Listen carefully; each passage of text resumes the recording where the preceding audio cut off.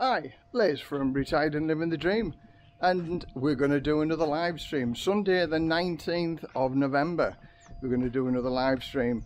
And because the clocks go back in England it's going to be a slightly different time. So it's still going to be 9 o'clock uh, UK time but it'll be 4 p.m. Thai time here.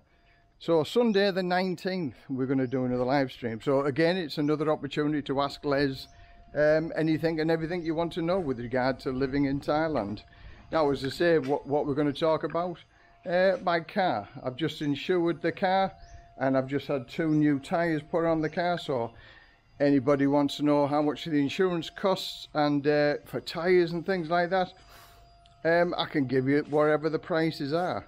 And I've still been busy around the house. I've been doing still all sorts of stuff around the house.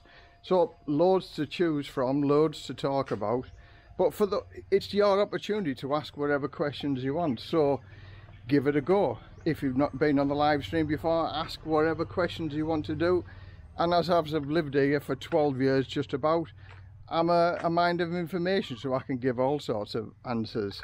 Now as I say for those people who've been following me with the water with the water filtration system it's all gone from there and I've altered all of this lot. And now we're starting to do alter all this lot to make it look nice.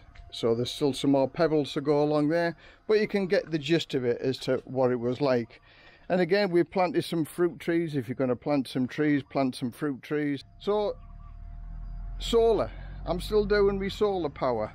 And uh, i'm just improving that as as we go on. Now i've had a few questions with regard to solar.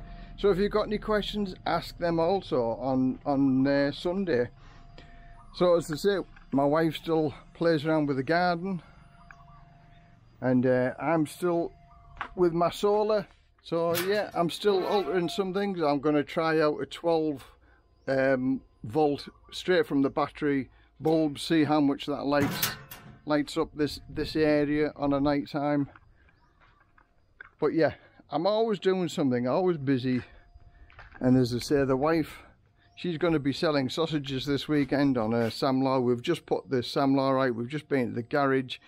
And we've got a new back tyre for the Samlar and the brake serviced. So how much do you think it's going to cost to get a new tyre and the brake serviced on this motorbike and sidecar? All will be revealed on Sunday. So again your opportunity to ask whatever questions you want.